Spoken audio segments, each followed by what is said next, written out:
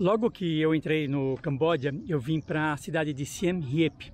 É, fica uns 300 quilômetros e por essas estradinhas, cara, a gente vai vendo é, de tudo, né? Eles têm tratores a, adaptados, é, que eles carregam a família, eles carregam carga, é, até casa, né? Eu vi eles carregando.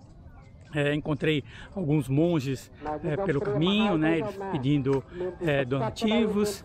e quando deu meio-dia, uma hora, eu tive que parar, a temperatura na moto estava dando 46 graus, estava muito quente, aí achei um lugar na beira do rio, tinha, uma, tinha um almoço e, e também uma rede para dormir.